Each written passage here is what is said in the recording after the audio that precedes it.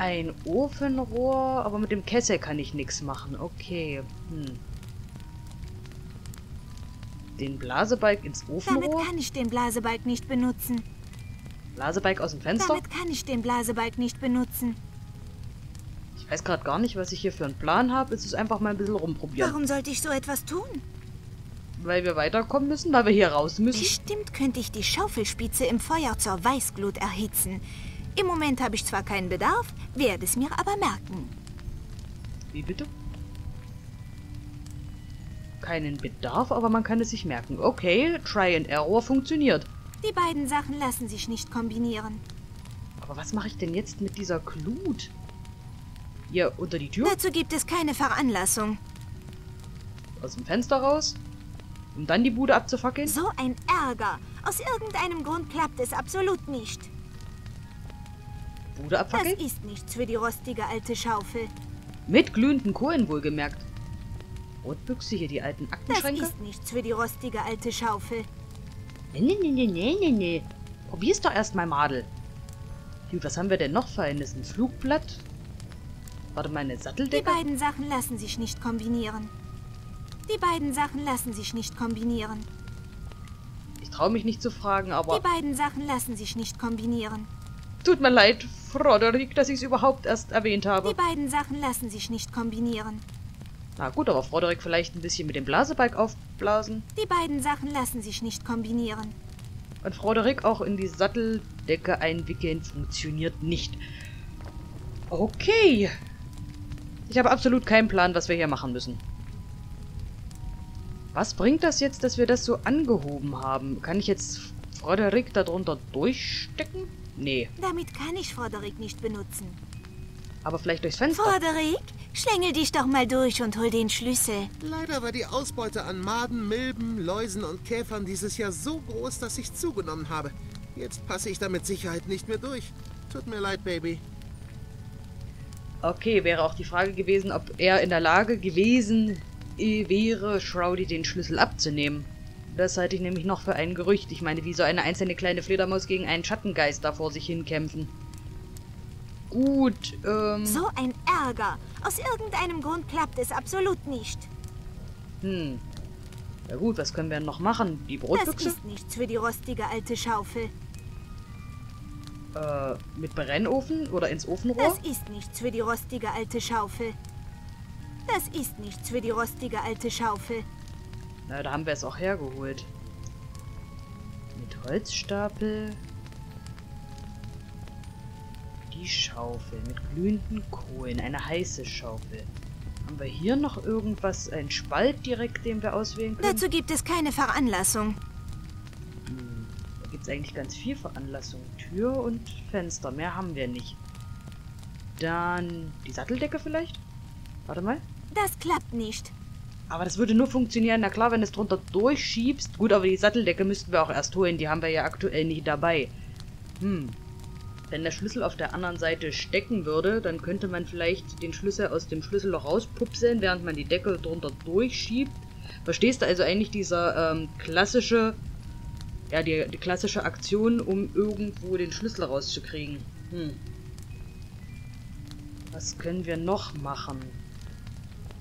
Warte mal, wir haben Parfüm. Parfüm ist doch sowas wie Alkohol, oder? Oh ja, sie beschwert sich nicht gleich. Haha, Randale. Feuer. Brennen.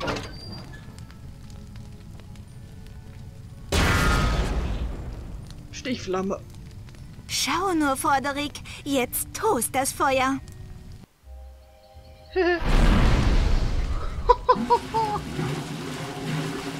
Wasser.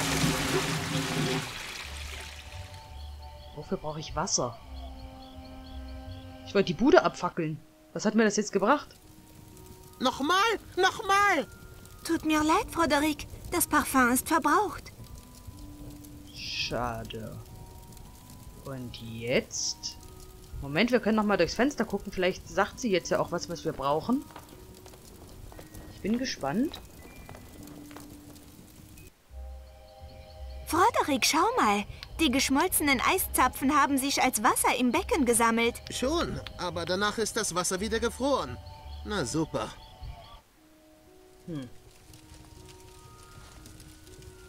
Und jetzt? Vielleicht hier durchs Fenster? Wenn ich das Becken umkippe, wird das Eis zumindest schon einmal vor der Tür liegen.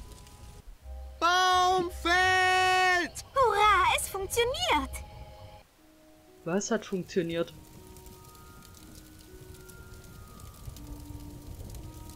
Was, was, was? Damit kann ich den Blasebalg nicht benutzen. Damit kann ich den Blasebalg nicht benutzen. Was haben wir jetzt gemacht? Das umgekippte Wasserbecken. Darunter liegen zerbrochene Eisstücke. Wie, was, wie haben wir es jetzt mit der Schaufel geschafft, das Becken umzuschubsen? Wie konnten wir jetzt um die Ecke fuchteln? Äh, äh? So ein Ärger. Aus irgendeinem Grund klappt es absolut nicht. Ich verstehe nicht, warum wir, was, was ist hier los? Ich habe offiziell den Überblick verloren. Kann ich das noch ein bisschen Das anheizen? wird nichts bringen. Tut mir leid. Hm. Die Satteldecke da reinschmeißen bringt auch nichts. Äh. Tür? Jetzt wäre das der jetzt? richtige Augenblick, um die Schaufel zu erhitzen und sie unter der Tür hindurchzuschieben. Und dann? Dann haben wir Wasser in der Bude.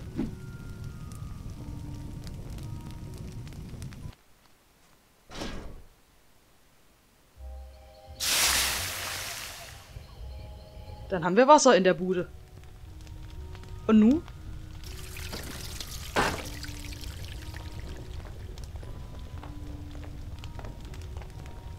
Wow, Mona, das hat funktioniert. Die heiße Schaufel hat das Eis geschmolzen und daraus hat sich eine saubere kleine Pfütze gebildet. Bist doch nicht so daneben. Und du bist so unhöflich wie eh und je. Ach so. Wir, wir löschen natürlich doch den Ofen, weil jetzt können wir damit Wasser aufsaugen. Haha, jetzt habe ich das Prinzip verstanden. Ein Blasebalg voll Wasser könnte noch nützlich sein. Ich merke es mir. Aber auch die. Die Logik jetzt dahinter. Sie ist ja so eingesperrt. Wieso will sie sich das alles merken? Sie könnte das gleich eins zu eins umsetzen, aber naja. Ich werde hier mal Wasser hineinfüllen. Der Blasebalg. Man bläst nicht mehr ohne. Ich mache keinen Witz jetzt über Blasen.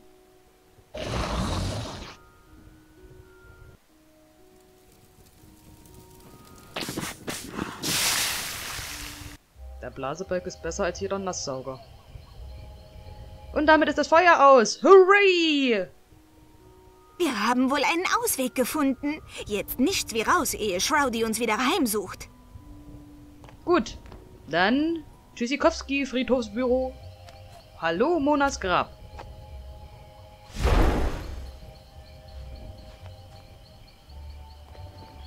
Gut, ich hoffe, die weiß jetzt... Frederick, wir haben es geschafft. Wir sind Shroudys Falle entkommen. Und wir haben erfolgreich die Lage deines Grabes bestimmt. Komm, jetzt holen wir uns ein bisschen Erde. Wir haben zwar kein Pferd, aber die kurze Strecke werde ich den Wagen schon ziehen können. Deine übermenschliche untote Kraft ist ziemlich nützlich. Siehst du? Hat doch auch seine Vorteile so als Vampir. Glaub mir, es ist schlimm genug. Und da ich nun mal einer bin, sollten wir jetzt Erde aus meinem Grab holen. Wenn ich meinen Sarg nicht damit auslege, überlebe ich die Nacht nicht. Würde es dir helfen, wenn ich Hossa rufe, während du ziehst? Würdest du noch fliegen können, wenn ich dir die Schwingen ausrupfe? Ich schätze, die Antwort auf beide Fragen ist negativ. Jedenfalls sollten wir ein paar Kästen mitnehmen und dein Grab heimsuchen. Wir müssen noch ein bisschen graben. Cool. Mona, habe ich nicht gesagt, dass wir noch etwas graben müssen? Ich würde dir gern helfen, ganz ehrlich. Aber du machst das so gut, ich würde dir nur in die Quere kommen, glaub mir. Ich weiß nicht genau, wie viel Dreck wir brauchen, aber ich habe schon eine volle Kiste in den Wagen geschafft. Tja, das dürfte... Du wirst mir niemals entkommen. Was war das denn? Ich habe ein schwer ungutes Gefühl. Shroudy! Dein kostbares schwarzes Tuch. Und ich weiß, dass es in der ganzen Stadt kein weiteres gibt. Und wenn du die Grabsteine nicht bedecken kannst, gelingt es dir nie, den Wagen hier herauszuziehen. Ich geb's ungern zu, Mona, aber er hat recht. Hey, alter Geisterkumpel, ich dachte, du liebst sie. Aber wenn sie ihren Grabdreck nicht irgendwie vor Sonnenaufgang in den Sarg bekommt, stirbt sie. Wenn ich sie nicht haben kann, soll sie niemand haben. Ich bin lieber auf ewig tot, als lebendig auch nur eine weitere Sekunde in deiner Nähe zu sein. Dein Wunsch ist mir Befehl. Leb wohl, meine Geliebte. Wir sehen uns im Jenseits. Mona, wir beide haben sowas wie ein Problem. Ich bin nicht stark genug, um den Wagen herauszuziehen und du kannst es nicht so lange, nicht so lange die Grabsteine freistehen. Mona, habe ich nicht gesagt, dass wir noch etwas graben müssen? Okay, schon wieder. Ich weiß nicht, warum die Sequenzen sich immer doppelt abspielen wollen. Keine Ahnung, aber... Gut, wir sind ein bisschen am Arsch. Wie können wir das jetzt machen? Nehmen wir die Laterne mit?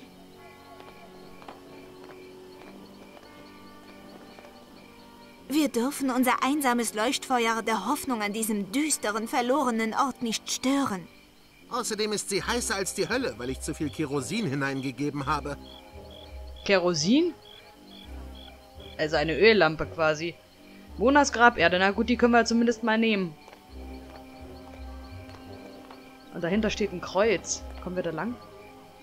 Ich sollte ihn wahrscheinlich mitnehmen, aber... Nö. Wie, äh, hier ist der Wagen. Wir sollen das doch da draufstellen, oder nicht? Oder haben wir da schon jetzt eine Kiste drauf? Ist die voll? Reicht das? Der Wagen mit Kartons voll Erde aus meinem Grab. Okay. Was machen wir denn jetzt? Äh, kann Frederik... Ah, warte mal. Ist das nicht jetzt... Geht's doch bergab, oder nicht? Also erst bergab ein Stück hin und dann wieder bergauf. Frederik, wir brauchen dich. Frederik, traust du dir zu, den Wagen zu steuern? Du kennst mich doch. Was Neues probiere ich immer gerne aus. Sag einfach Bescheid, wenn ich die Karre steuern soll. Ja, äh, jetzt, idealerweise. Mit Grabstein des Schnitters? Hier ist noch ein Grabstein dahinter? Er sieht verbittert aus. Das wärst du auch, wenn dich nie jemand zum Essen einlädt. Hm. Gut, also er würde den Karren lenken. Können wir den jetzt... Ah, wir können ihn anschieben. Ich hab's, Frederik. Du sagtest doch, dass du ihn steuern kannst, nicht wahr? Jep, mit der alten Kiste müsste ich umgehen können. Prima, du steuerst und ich schiebe. Da wir weit genug oben auf dem Hügel sind, müsstest du genug Schwung bekommen, um den Wagen direkt durch den Friedhof und bis zu Madame Strigos Lager zu fahren. Genial. Wer sagt denn, dass Opernsänger blöd wie Bohnenstroh sind? Bohnenstroh hat ja absolut nichts voraus. Danke, Frederik. Also, bist du bereit?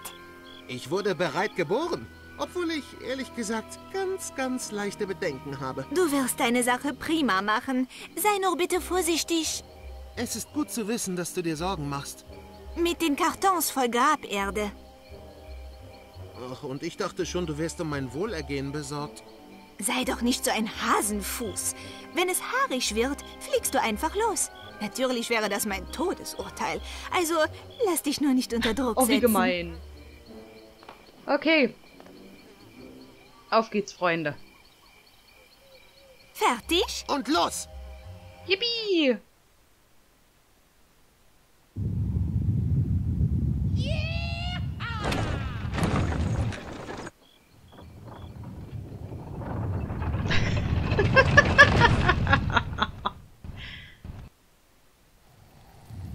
Gut gemacht. Das scheint wirklich ein Bug zu sein. Ich verstehe es nicht, warum die Videosequenzen immer und immer wieder abgespielt werden wollen.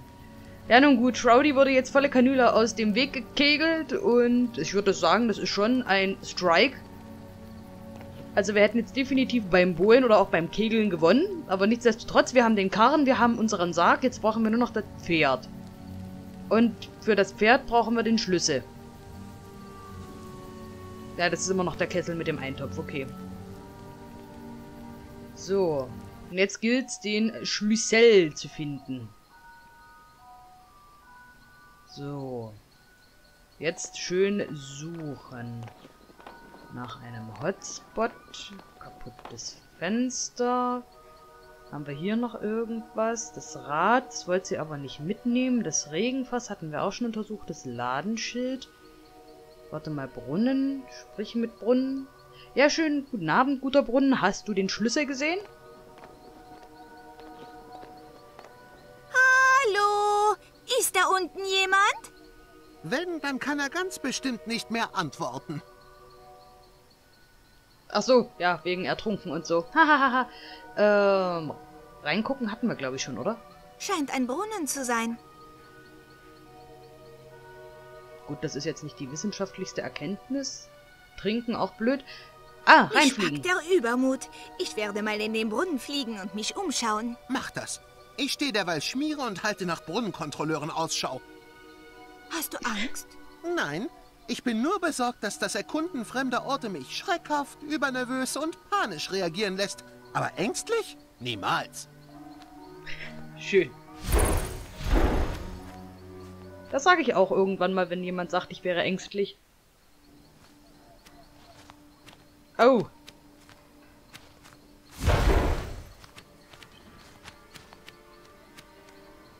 Ah ja, Kuroy was hier. Wer auch immer das ist. Kilroy war hier.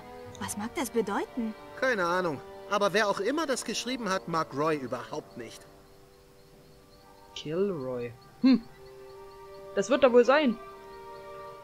Oh, der arme Kerl. Er ist in den Brunnen gefallen und nicht wieder herausgekommen. Wie traurig, Frederik. Er ist ganz allein in der Kälte gestorben. Und nackt, wie Gott ihn erschaffen hat. Es ist ein Skelett. Och Mensch, Frederik. Äh, manchmal, manchmal ein leerer Eimer. Ein alter, eiskalter Eimer. Ist ein Loch im Eimer, lieber Heinrich? Nein, ich sehe kein Loch. Und nenn mich nicht Heinrich. Ach Mensch, das Lied kenne ich noch. Das haben wir immer im Kindergarten gesungen. Wenn der Topf aber nun ein Loch hat, lieber Heinrich, lieber Heinrich. Hm, ein Eimer könnte uns noch nützlich sein. Er kommt auf meine geistige Merkliste. Lieber Heinrich, was dann? Und es ging eigentlich immer darum, der der Heinrich zu sein, weil sein letzter Satz ist hier, lass es sein, dumme, dumme Liese, dumme Liese, dumme Liese, na na na na na na na na na, dumme Liese, lass es sein. Und niemand wollte ja im Kindergarten die dumme Liese sein, also war auch ich immer tunlichst darauf bedacht, den Heinrich zu singen, wenn überhaupt. Abschlussklasse 1874. Offenbar die Draxilvanische Oberschule. Ja, das war das Jahr, in dem sie kein einziges Spiel gewonnen haben. Nach einem der schlimmsten Matches hat der Trainer sie angeblich bis zum Morgen um den Platz gescheucht. Bei Sonnenaufgang sind die Spieler dann explodiert. Häufiger Fehler von unerfahrenen Trainern. Oh, die Armen. Hm, was mag da drin sein? Steck doch mal die Hand rein, dann bist du schlauer. Vielleicht sollte ich dich hineinstecken. Dann bin ich schlauer. Vielleicht sollte ich die Klappe halten. Nein, das probieren wir jetzt aus. Ich will wissen, was da drin ist. Damit kann ich Frederik nicht benutzen. Oh. Na gut, dann haltst du halt doch dein Händchen rein. Da stecke ich die Hand nicht hinein. Sie könnte gebissen, zerkratzt oder sonst etwas werden. Mädel, du bist schon ein Vampir. Viel schlimmer kann es nicht werden. Es sei denn, da hat irgendeiner Knoblauch, Silber, Kreuz, Weißdorn, Weihwasser eingesteckt. Okay, also dir könnte schon noch ein bisschen was passieren. Nun gut. Ach, hier. Schön. Ich, ich, ich, ich vergnüg mich hier die ganze Zeit. Der gefrorene Schlüssel. Ein gefrorener Schlüssel. Das ist bestimmt der, den Frau Martinelli sucht. Den sollten wir uns greifen und ihr bringen. Ähm, da wäre nur ein kleines Problem. Er ist im Eis eingefroren. Wir kommen absolut nicht ran, falls du nicht zufällig den Hitzeblick hast. Oh, habe ich den? Ist das eine meiner besonderen Vampirkräfte? Hängt davon ab. Du stammst nicht zufällig von Krypton, oder? Nein, ich stamme aus Paris. Also kein Hitzeblick. Aber dafür hast du die Gabe zu Touristen, unglaublich unhöflich zu sein.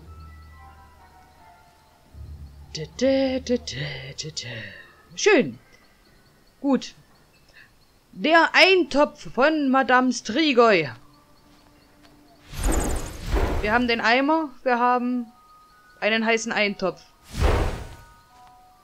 Und wir brauchen besagten Eintopf. Und damit können wir wahrscheinlich nicht nur den Schlüssel aus dem Eis schmelzen, sondern wahrscheinlich auch den Schmü- äh, Schlüssel gleich wegätzen. Weswegen wir dann mit Madame Strigoi Eintopf die Tür aufätzen müssen. Doch ja, das klingt sehr logisch und sehr wahrscheinlich. So werden wir das Rätsel lösen. So, ich hoffe, wir dürfen das jetzt überhaupt nehmen. Na schön. Das war's? Keine Widerrede? Kein Igitt und äh, was für ein ekliger Eintopf? Das wird einfach... Einfach so hingenommen? Oh, Gottes Willen. Mensch, Mona macht ja eine richtige Charakterentwicklung durch. Ich bin ja begeistert. Ich frage mich dann erst, wie das im zweiten Spiel geworden wäre. Ich meine, wäre sie dann der richtig böse Vampir oder würde sie sich weiterentwickeln in der Hinsicht? Zumindest ist sie nicht mehr so etepetete wie am Anfang. Es fühlt sich jetzt auch schon so urstlang an, dass wir mit Mona und Frederik unterwegs sind. Hm. Nun gut, ähm, einmal mit heißem Eintopf. Ach, sie muss es jetzt erst wiederholen. Sie den einmal gleich mitgenommen, hätten wir gleich den Eintopf einsacken können und dann, na egal. Ja. Um Gottes Willen. Wenn die so weitermacht, ist der Eintopf wieder gefroren, bevor wir da sind.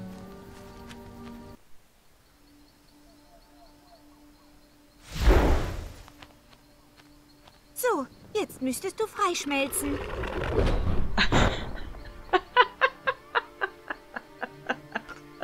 Oh, das ist wohl... Eingefroren? Ehrlich? Der Plan war aber gut. Merde.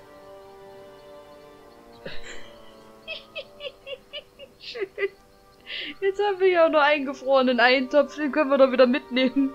Falls Frau Madame Strigoi einen Gefrierschrank hat, dann hat sie mal später was, wenn sie mal alleine ist und was zu essen braucht. Dann braucht sie halt nur die passende Mikrowelle dazu, um den Kram hier wieder aufzutauen. Okay. Eimer.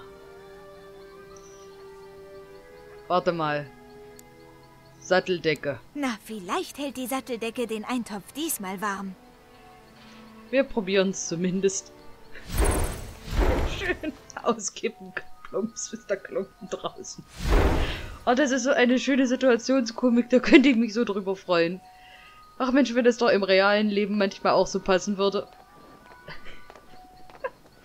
Klingt. Würde auch gut beim Wasserkocher sein, weißt du, hast du gerade deinen Wasserkocher aufgesetzt, es blubbert schön vor sich hin und in dem Moment, wo du halt dir den Tee aufgießen willst, ja, Ups. Schon wieder falsch gelaufen. Sorry. Ach ja, er liegt immer noch da. Schön zu wissen. Oh, der arme Kerl. Ich hoffe, der erfriert hier nicht.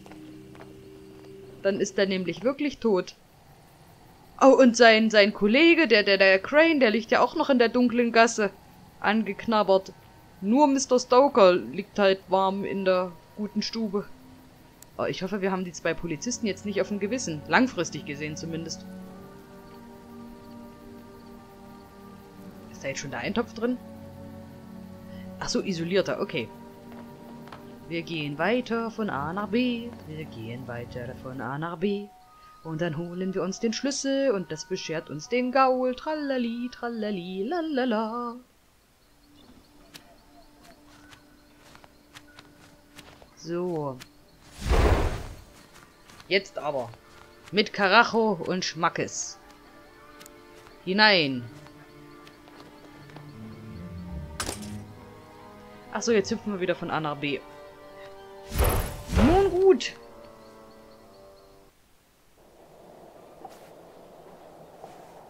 Ich hoffe, sie löffelt wenigstens ein bisschen schneller. Achso, wir müssen erst die Satteldecke holen.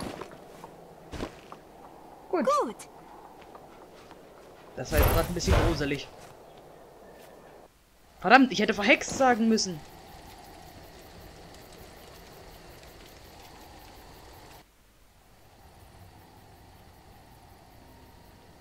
Witzig. Die Sequenz hat er jetzt nicht versucht, zweimal abzuspielen. Auch wenn es nur eine sehr kurze war.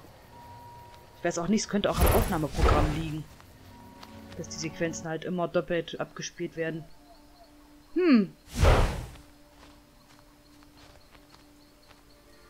So, jetzt müsstest du freischmelzen. Das sieht nicht gut aus. Es funktioniert. Ja, wer greift da jetzt rein? Oh nein, ich mache mir die Finger nicht schmutzig. Hilfst du mir, Frederik? Ich nehme alles zurück, sie ist volle Kanüle noch Etepetete. Wir haben den Schlüssel. Genial, wir können jetzt die Dame aus New Jersey frei schlüsseln. Aufschließen. Befreien. Und dann haben wir den Gaul und dann müssten wir es doch eigentlich schon haben, oder? Dann ist es Zeit, nach Paris zu reisen. Oder brauchen wir wirklich noch den dusseligen Diener? So. Kleinen Moment, gute Frau, Sie sind jeden Minute frei. Jeden, jeden Minute, oh Gott.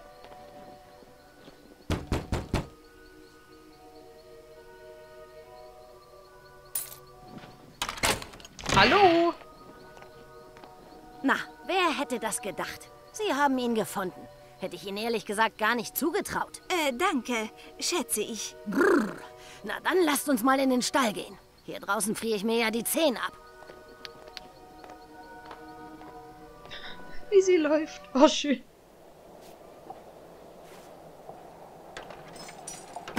Na los, Buttercup.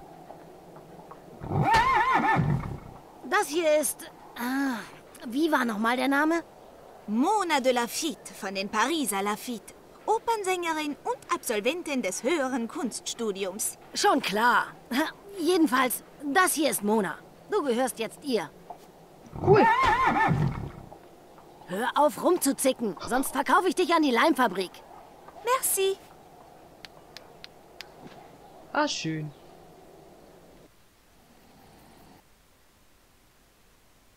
Oh, Sequenz.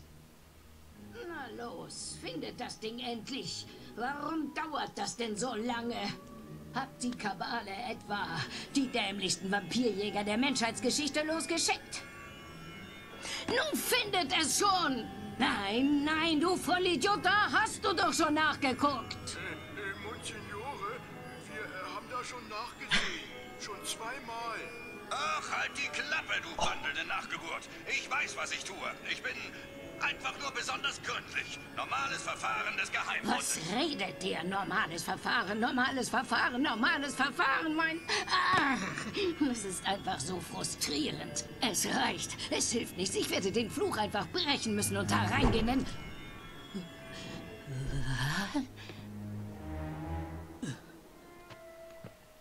Welche Wesen maßen es sich an, Madame Strigoi herauszufordern? Was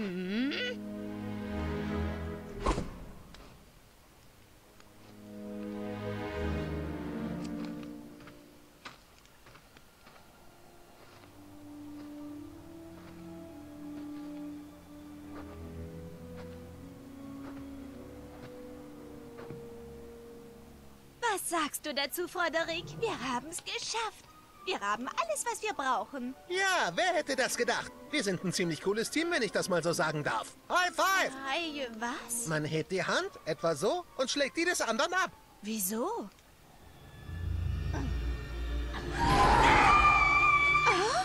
Oh-oh. Madame Strigoi, wir haben sie schreien gehört. Ah, da seid ihr ja endlich. Nein, alles gut. Es, es ist nur so, dass ich ab und an einfach mal losschreie. Dann weiß ich, dass ich noch am Leben bin. Okay. Also, ich weiß nicht. Ach, Paperlapap. Wir haben es geschafft.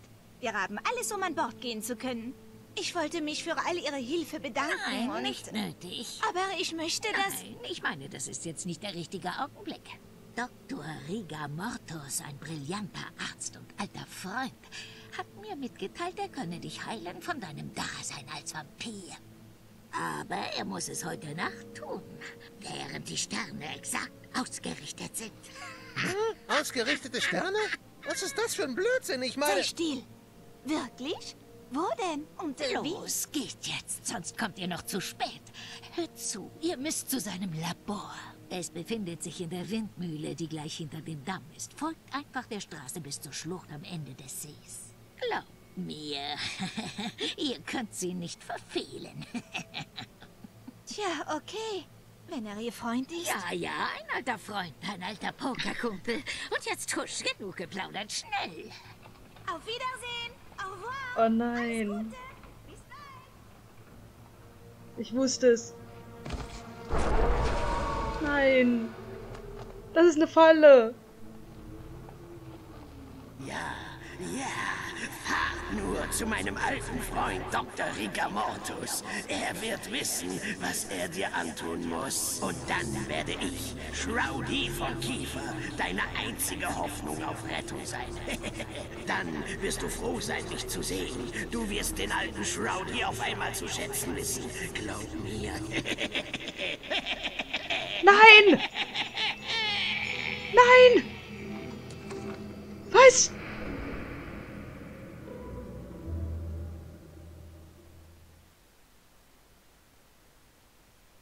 Wie jetzt etwas?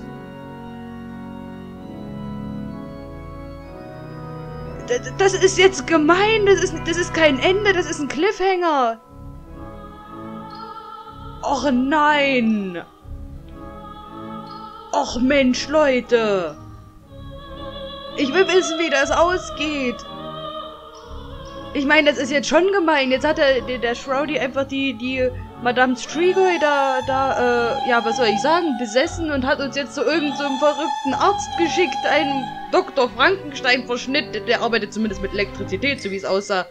Und ich will wissen, was da passiert. Ich will wissen, wie uns Shroudy rettet. Ich will, ich will wissen, wie es weitergeht, Mann. Oh, ich hätte nicht gedacht, dass das so unfair endet. Ach Mensch. Manno. Ich fühle mich gerade wie so ein kleines Kind. Ich finde es unfair, wirklich. Ach Mann. Ich schmolle. Das, geht gar nicht. Ja, hier, Produktionsdesign, Bill Tillers nützt mir auch nicht. Ich weiß nicht, wie die Geschichte weitergeht. Hier Animationen, David Langton, Tamsin Bryan, Jeff Cooperman und Sean Burns. Die Modelle hier, die 2D-Kunst und... Leute, das ist so unfair, Mensch. Umso mehr unfair ist es... Oh Gott. Die gute Mona hat ein ganz schönes Stimmchen. Naja, äh, das, der zweite Teil wurde ja nie veröffentlicht, beziehungsweise wurde schon in der Mache... Ach, warte, wo ist Shroudy? Wo ist Shroudy? Oder war der schon? Habe ich jetzt Shroudy verpasst? Madame Strigoi? Ja, die, die Jungfrau. Ach hier, Brian Sommer als Balku, Shroudy von Kiefer und Shroudy Geist.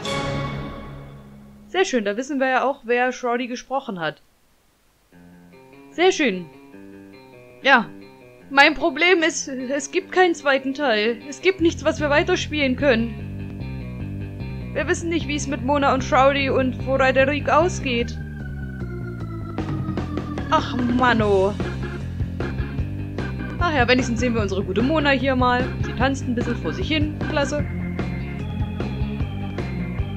Ach, hier haben wir die... Ah, die Deutschen. Hennes Bender. Ich wusste es. Irgendwie, die Stimme kam mir bekannt vor. Ach, schön. Hennes Bender. Ja, das gefällt mir. Hat auch schon in ein paar anderen Hörspielen mitgesprochen, ist aber halt am meisten durch, durch seine Auftritte bekannt, halt als Comedian, Stand-Up-Comedian und so weiter und so fort. Gefällt mir. Hennis Bender als Shroudy. Schön. Was machen wir jetzt? Ich meine, wir können jetzt Fanfictions darüber schreiben, wie es weitergeht, aber, ähm... Meine Güte. Kann man die lieben Leute nicht mal anschreiben?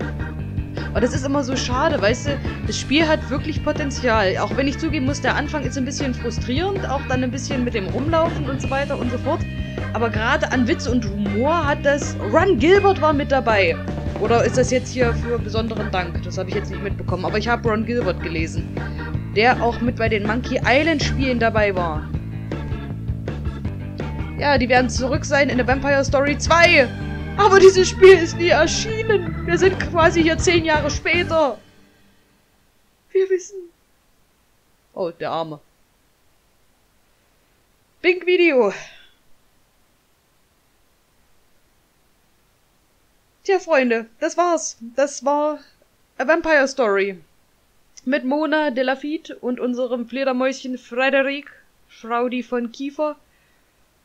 Ja, ich muss sagen, das Spiel hat mir sehr viel Spaß gemacht. Also quasi die letzte Hälfte, wo man dann wirklich aus dem Schloss raus war, äh, muss ich sagen, hat mir am meisten Spaß gemacht. Der Humor hat da sehr angezogen. Ähm, ja, also wie gesagt, das mit dem Schloss, mit dem Ausbrechen, klar, es ist nun mal ein Hauptelement, dass man überhaupt aus dem Schloss rauskommt. Aber es war mir ein bisschen zu langatmig. Und ja, gut. Aber danach, wie gesagt, der Humor hat stark angezogen, auch die Charaktere haben mir sehr viel Spaß gemacht. Mona teilweise etwas nervig, aber Froderick oder Frederik oder wie auch immer wir ihn nennen wollen, äh, macht das aber doppelt und dreifach wieder wett. Ich habe ja auch schon bei Gelegenheit in den Kommentaren mit euch darüber diskutiert, dass er halt für mich sogar eine Steigerung zu Harvey ist. Ganz einfach, weil er nicht nur auf Randale steht, sondern halt auch den ein oder anderen schönen, schmutzigen Witz erzählt. Und das macht ihn so als Charakter für mich rundum ja, sympathisch. Und aus dem Grund, wie gesagt, ganz großer Fan von Frederic. Tja. Und Shroudy von Kiefer, der ist mir einfach sympathisch. Wie gesagt, Hennis Bender, wissen wir jetzt, hat ihn gesprochen und dahingehend war das Ganze auch irgendwo recht sympathisch. Ähm, ich weiß gar nicht, ob ich das Spiel nochmal in Englisch spiele, einfach mit den Originalstimmen. Ich glaube, dass sehr viele Witze auch verloren gegangen sind durch die deutsche Übersetzung, aber das kann man jetzt nicht den Übersetzern oder den Sprechern ähm, vorwerfen, um Gottes Willen, die haben Bombenarbeit geleistet. Also ich muss sagen, quasi, also die, ach Gottes Willen, die, jetzt weiß ich nicht, wie sie heißt, ich glaube, ach wurscht, jetzt fällt sie mir nicht ein, die Sprecherin von der Mona hat auch mal in einem Dracula-Hörspiel die Mina gesprochen und das mit dem französischen Akzent hat sie hier wunderbar gemeistert, also ich bin sehr Celine Fontage heißt sie, glaube ich. Wenn ich mich jetzt nicht irre. Aber ich irre mich, glaube ich, ziemlich stark. Also in neun von zehn Fällen. Ähm, ja, wie gesagt, Sprecher, Bombenarbeit, Rätsel teilweise ein bisschen bekloppt, muss ich sagen, aber ganz im Ernst, das bin ich ja gewohnt. Ich meine, wenn man hier auch die Ankreihe mal gespielt hat, da sind die Rätsel auch nicht besser. Der Humor wunderbar in Ordnung und ich meine, es geht um Vampire, dahingehend hat das Spiel sowieso schon gewonnen. Und das Wordbuilding funktioniert, das Spiel nimmt sich nicht allzu ernst und deswegen funktioniert es auch so, wie es aufgebaut ist. Also definitive, definitive Spielempfehlung, auch wenn es wie gesagt am Anfang etwas frustrierend ist. Und ich glaube aber auch für diese Art von Spielen musst du grundsätzlich die Komplettlösung irgendwo im Anschlag haben. Weil, ich meine, wenn du privat für dich spielst, ist das wahrscheinlich immer noch mal was anderes. Dann kannst du halt einfach sagen, okay, jetzt äh, mache ich das mal aus und dann spiele ich halt irgendwann in der Woche wieder weiter. Und dann hast du auch wieder ganz neue Anregungen. Aber in einem Let's Play ist halt ungünstig, wenn ich dann einfach mal so ein halbes Jahr warte, bis dann die nächste Folge kommt. Und dementsprechend ähm, muss ich sagen, ich fand es auch ganz angenehm. Ich habe mich versucht, so wenig wie möglich zu spoilern. Also, dass jetzt auch hier das Ende da war, das hat mich wirklich überrascht. Ich hatte eigentlich nur noch geschaut, ähm, wie der Schlüssel zu finden ist. Ähm, in der Hütte habt ihr ja gemerkt, da habe ich selber festgesteckt. Das war dann eher so Try-and-Error-Prinzip. Aber ich muss sagen, im Endeffekt, es hat mir trotzdem mega viel Spaß gemacht. Und nur weil man weiß, wie man bestimmte Sachen löst, weiß, heißt das ja noch lange nicht, dass man weiß, wie die Story vorangeht. Und dahingehend, das Spiel hat mir Spaß gemacht. Ich hoffe, euch hat es auch Spaß gemacht, dass ich euch ein bisschen damit unterhalten konnte. Und ja, jetzt ist natürlich die Frage, was als nächstes kommt. Auf jeden Fall werden wir dann erstmal das Pokémon Let's Play wieder aufnehmen. Das wird jetzt gleich im Anschluss weitergehen zu A Vampire Story. Und ja, und dann werden wir mal schauen, mit was wir weiterspielen. Also wenn ich irgendwo noch ein Vampirspiel finde, ähm, außer, äh, ich sollte vielleicht mal ein paar Worte dazu verlieren, ist eigentlich ein bisschen blöd jetzt hinter dem Projekt oder nach dem Projekt darüber zu reden, ähm, dass das Spiel, was wir angefangen haben, dieses, ähm, Gott, ich weiß gar nicht hier, dieses äh, Outbreak, dieses, da hier, was wir angefangen haben, wo zwei Episoden bisher erschienen sind, dieses Wimmelbildspiel, das ist verflucht buggy. Also, mir schmiert regelmäßig das Spiel ab während der Aufnahme, weswegen es da auch nicht weitergehen wird. Ich werde auch in die Playlist dann reinsetzen, dass das offiziell abgebrochen ist. Und so spannend war es ja jetzt nicht. Ähm, aber auf jeden Fall, wenn ich noch irgendwo ein gescheites Vampirspiel finde, werden wir das definitiv auch noch spielen. Falls ihr noch Vampirspiele kennt, die ihr gerne mal Let's Played haben wollt, haut's mir hier in die Kommentare mit rein. Ähm, allerdings kann ich schon dazu sagen, äh, Vampire Masquerade Bloodlines werden wir früher oder später nochmal in Angriff nehmen, aber in der nächsten Zeit erstmal nicht. Äh, was ich unbedingt gerne mal spielen würde, wäre ähm, Vampire the Masquerade Redemption, kriege ich aber leider unter Windows 7 nicht mehr zum Laufen. Und ich habe schon in sämtlichen Foren nachgeschaut, ich habe schon sämtliche Modi ausprobiert, also quasi XP. Es geht dahingehend, ich kann das Spiel installieren, aber es startet einfach nicht. Ähm, ist sehr schade und da ich ärgere mich richtig drüber, weil ich das Spiel schon mal vor Urzeiten angefangen habe. Äh, quasi, ich glaube, das waren so eines mit der ersten Spiele, die ich auf diesem Kanal gespielt habe. Und ich weiß gar nicht, dann habe ich die Folgen wieder runtergenommen und ich weiß gar nicht, warum ich das Spiel dann nicht weiter Let's Played habe. Ich vermute wegen mangelndem Interesse. Ich kann es euch gar nicht mehr sagen, das ist ja mittlerweile auch schon Jahre her. Äh, und wenn man bedenkt, wie lange ich das eigentlich mache, ich ursprünglich habe ich den Kanal ja 2010 erstellt und ich glaube 2012, vor sechs Jahren muss man sich überlegen, im Juli, glaube ich, 2012 kam dann die erste Folge von Zauberer und Prinzessin, die ich da hochgeladen habe. Also ist schon eine ganz schöne Zeit. Und irgendwo danach, ich glaube 2013, habe ich da damals das Spiel angefangen. Das würde ich auf jeden Fall sehr gerne auf meinem Kanal sehen. Habe ich sehr gerne gespielt, ähm, weil ich auch die Story ziemlich gut finde für ein Vampir. Also ihr kennt mich ja, Vampir und Liebesgeschichten finde ich an sich eigentlich immer grundsätzlich kacke, es sei denn, es ist gut gemacht. Vampires Masquerade Redemption kriegt's richtig gut hin, halt doch irgendwo diesen Aspekt der Liebe mit in diese Vampirwelt zu integrieren und es passt halt auch in dieses Worldbuilding mit rein. Weil halt Vampire nicht so als die emotionalen äh, Holzklötze dargestellt werden, wie halt irgendwo anders. Aber wie gesagt, das Gesamtbild muss dann passen. Ähm, ja, die Dracula-Reihe von Microids haben wir ja schon durch. Da stünde höchstens noch das Let's Play zu Dracula 3 aus, also quasi die Vollversion. Die habe ich auch hier. Allerdings, da werde ich definitiv mit der Komplettlösung arbeiten, weil die Rätsel ja so schweineschwer sind. Ähm, aber müssen wir mal schauen. Und ich weiß gar nicht, ob es dann noch ein Vampirspiel gibt. Wenn nicht, müssten wir dann langsam mal das Genre wechseln. Weiß nicht, so zu Geisterjäger oder sowas. Oder zu Werwölfen. Dann haben wir ja bald alles abgegrast. Ich meine, wir könnten noch äh, Vampire's Dawn könnten wir weiterspielen. Ach, äh, im Übrigen, da fällt mir was ein. Ähm, ich habe meinen Spielstand zu Vampire's Dawn versemmelt. Keine Ahnung, wie das passiert ist, ähm, aber mir fehlt der Spielstand, wo wir weitermachen können. Und ich war, ähm, wenn ich mich richtig erinnere, war ich vom Speicherstand her dort, wo wir gerade bei den Kindern der Apokalypse waren und dann den Turm aufsuchen konnten von Abraxas. Und das war da genau, das war dann auch der Punkt, wo ich dann gestoppt habe, weil Abraxas Turm ist so scheiße anstrengend und wirklich nervenzehrend. Falls jemand von euch da noch einen Speicherstand irgendwo auf dem PC rumfliegen hat, würde ich mich richtig freuen, wenn ihr mir den mal zukommen lassen würdet. Ähm, ist egal, wenn die Level jetzt von Elaine und so weiter nicht übereinstimmen. Ich glaube, ich hatte ohnehin gecheatet, dass die auf ähm, äh, Level 50 sind und die Attacken hatte ich mir sowieso irgendwann mal im Off-Play geholt. Also ist vollkommen wurscht. Äh, es geht nur noch darum, dass wir die Story zu Ende bringen können von Vampire's Dawn. Dann könnte man natürlich auch Vampire's Dawn 2 spielen was auch sehr langatmig werden würde. Ähm, müsste man dann auch schauen, ob man es auf leicht, mittel oder schwer spielt. Unterwegs in Düsterburg haben wir auch schon abgefrühstückt. Also wie gesagt, wenn ihr noch ein gutes Vampirspiel kennt und Achtung, ein kleines Kriterium muss ich da jetzt noch mit einbringen.